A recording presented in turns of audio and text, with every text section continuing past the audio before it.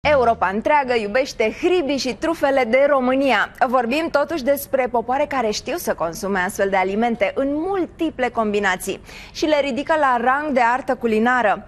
Pe de altă parte, în aceste țări se cunosc foarte bine regulile de protecție. Despre ele vom vorbi astăzi.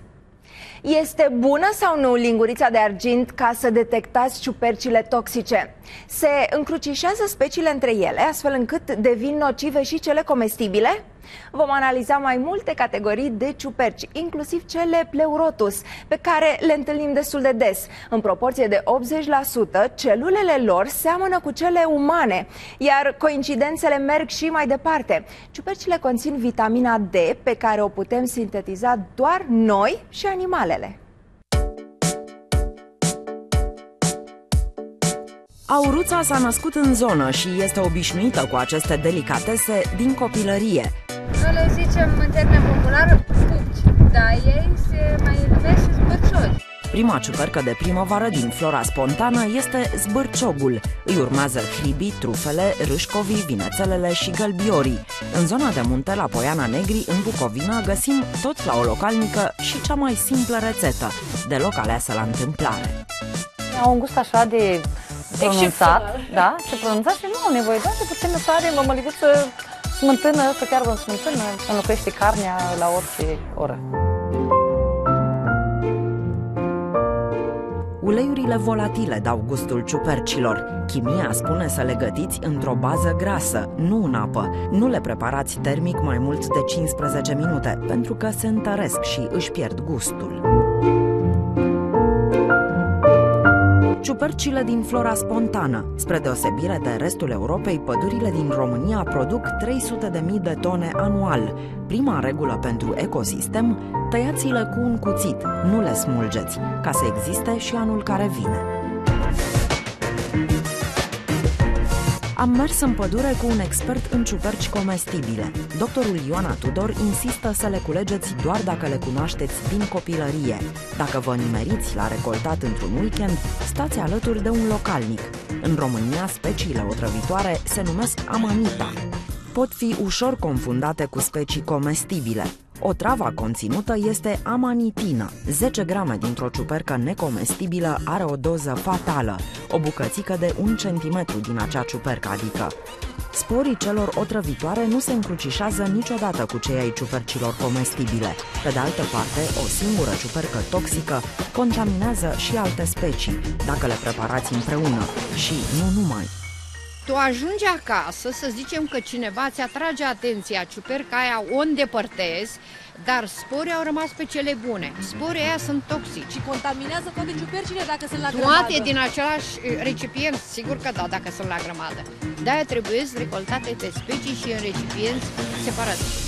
Ciupercile comestibile culese din pădure se spală sub jet puternic de apă, astfel încât să înlăturați eventualii spori ai altor specii. În rest, nu le cunoașteți, nu le consumați. Lăsați folclorul la o parte. Lingurița de argint pusă în apa în care se fierb nu se înnegrește dacă sunt otrăvitoare, iar cele toxice nu își schimbă culoarea la tăiere. Buretele viperei, ciupercă foarte otrăvitoare, prezintă carnea albă și după secționare. De asemenea, ciupercile bătrâne din speciile comestibile sunt toxice. Pentru necunoscători, cele mai sigure sunt exemplarele de cultură, paie opărite, var și miceliu. Doar din aceste ingrediente cresc ciuperci care depășesc 3 kg. Cunoscutele pleurotus le găsim în toate supermarketurile, dar românii le pun pe locul al doilea, după specia champignon. Între 7 și 10 zile e termenul lor de valabilitate ele nici după 10 zile nu se întâmplă nimic, doar că încep să se mai usuce. La fiecare 3 luni noi ducem ciuperca la analizat pentru analize de metale grele. Cristina Percec recoltează ciuperci din hală cu mama, tata și mătușa. La un minut de la recoltare avem cea mai simplă rețetă pentru cuptor. Ciuperci cu unt. Am un stava cu unt, am uh, feliat ciupercile, le-am pus sare și piper, am tăiat unt cu bulețe deasupra și le-am băgat la cuptor. Și când se scade zeama, sunt gata. Curățat. Burețari. Da. Dar de ce? Că, vă Ne, a, mergeam în pădure și noi eram cei care găseam. Restul ce că uite băiat l-au găsit și ne-au pus porecla asta. Aha. Și Și am acum fost le găsiți mândră. în fermă. Wow, da. Acum nu mai trebuie să umblu pe coclauri. Mi-am plinit visul nepoata. Ciupercile consumă paiele și sunt vedetele celei mai spectaculoase transformări din natură. Se consumă o celuloză, o fibră, da. așa, și se transformă în aminoacizi. Da. Ciupercile sunt o carne vegetală, curată, sigură, naturală. 18 aminoacizi din 20 cât are carnea, adică proteina perfectă. Au de asemenea vitamina D, pe care o găsim doar în produsele de origine animală. Dar atenție la câteva aspecte. Nu le consumați cu alcool, pentru că pot să devină toxice. Nu le pregătiți în vase cu smalțul sărit, pentru că intră în reacție cu fierul. Și nu consumați mâncare gătită de mai mult de două zile. Din nou, devine toxică. Sporii ciupercilor zboară peste tot prin aer. Găsesc mediul perfect, cald și umed în plămânii umani. Dacă n-am avea un sistem imunitar performant care să îi distrugă, ne-ar sufoca tocmai ciupercile. În proporție de 80%, celulele unei ciuperci sunt identice cu cele umane. Tocmai de aceea, o infecție cu ciuperci, adică cu fungi, este extrem de greu de tratat.